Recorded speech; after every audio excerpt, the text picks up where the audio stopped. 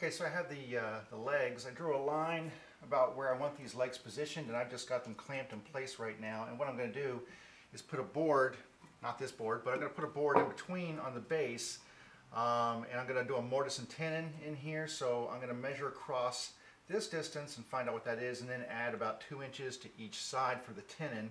Uh, and then I'll take these over to the drill press and do the, uh, the mortise in here. Um, and the purpose of this is I'm going to basically bore holes through here and then use lag bolts to actually go into the uh, into the tabletop from underneath. So this is actually the bottom of the table right here. And when I have these in place, um, I'm also going to have a stretcher going across a little uh, lower on the legs, but to keep it square. But for right here, this is actually going to be the support for the table. So I'm going to get this mortise and tenon out. I'll do the same thing on the other set of legs. And it looks like I am exactly 17 inches between the two. So I'll cut the shoulders 17 inches apart, extend the mortise out another two inches on each side. Then I'll take these over the drill press, kind of get them hogged out with a bit, and then use a chisel to clean them up.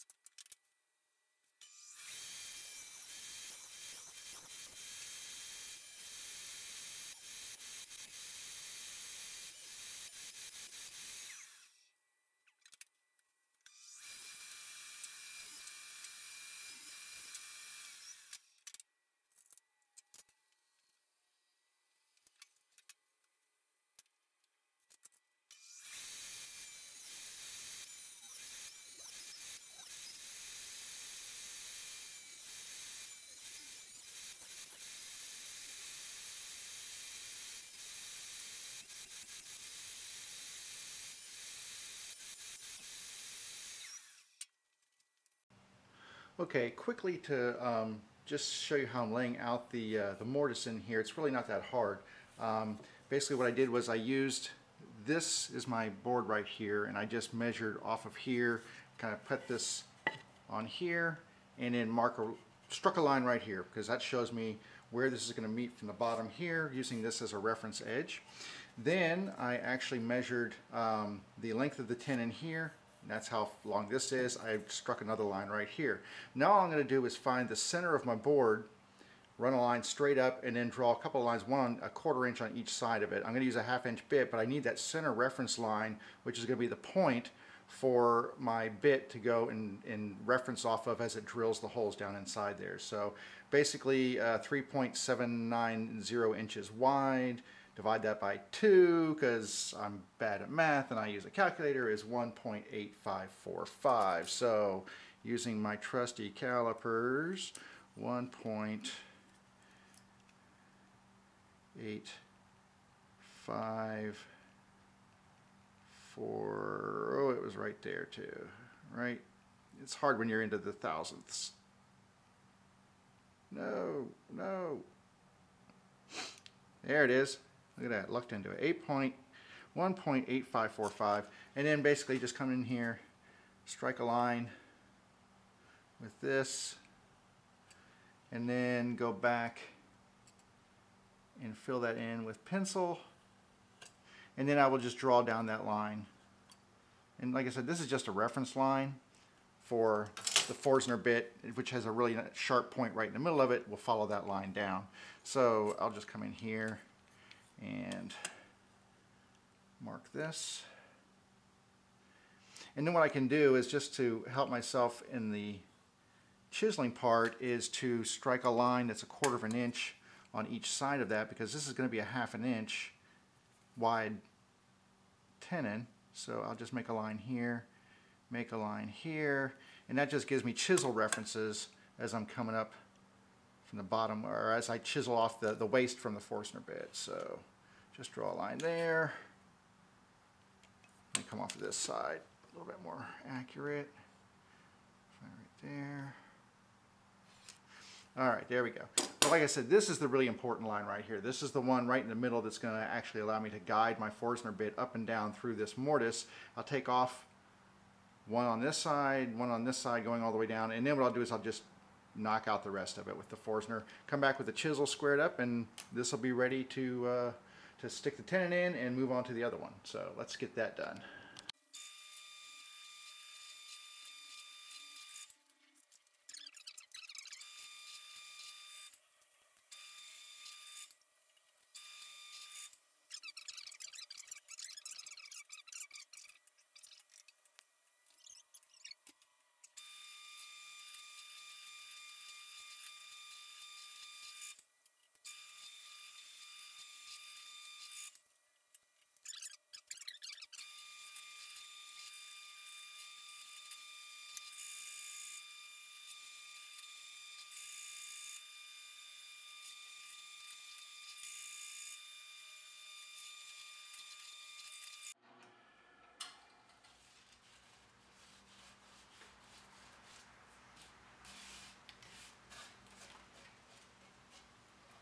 All right, and that's what we got right now. Just empty this out and start whacking away with the chisel and get this all squared up.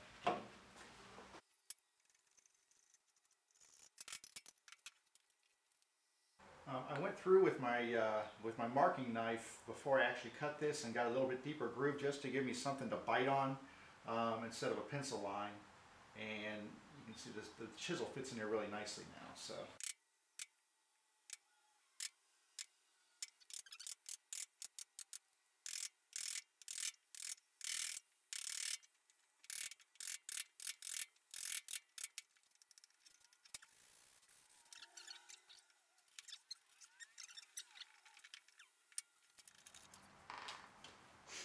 All right, I had a couple of high spots inside there, and then I went over and just knocked just a, a thousandth or so off of my, uh, off of the end of my tenon here. Let's see if we can get that flush now.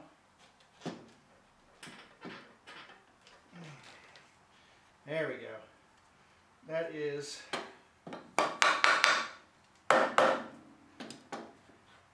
that is flush and tight and squared up pretty close to the bottom there. And for someone who never does mortise and tenon, that's good enough for me. Uh, now I gotta do the other side. All right, so I've got the mortise and tenon done on the bottom support, and now what I'm gonna do is I'm actually gonna create uh, one of the cross braces, um, and uh, I'm gonna do a half lap joint on this one. So what I did was I just clamped a square in here, so you can see that it holds it perfectly, perfectly square so this leg and this leg are perfectly um, perfectly parallel. And then all I'm going to do is uh, I'm going to measure how much wood I need from the side of here to the side of here. And that's 26 and a quarter. And I'll go a little bit long just so I can flush cut it uh, with a saw at the end. Um, so that's good. And I still know that the inside measurement here is 17. So I'm 17 between the legs. Uh, from one side to the other, I'm 26 and a quarter. So I'm going to need a board a little bit more than 26 and a quarter.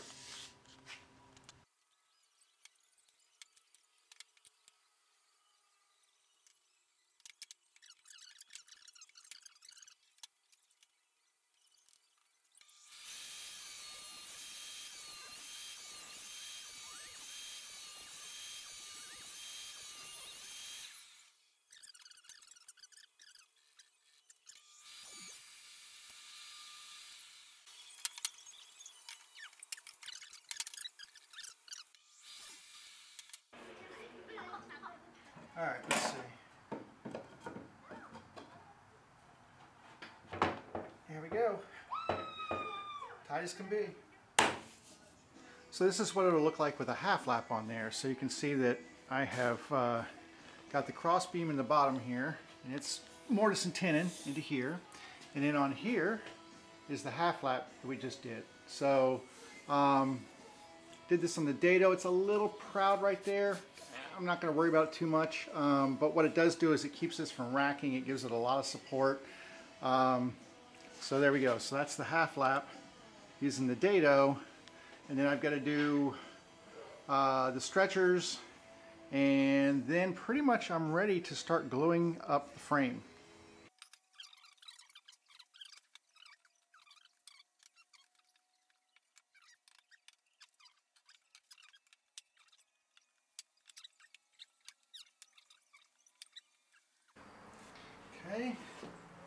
All right. Nice.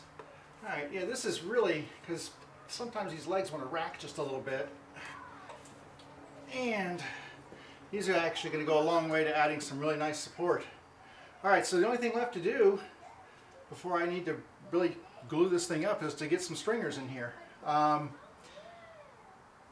I may, I may go out and get some wider boards for that just to give some really good support across. I haven't decided yet. So probably next couple days I'll go out, get the wood for those.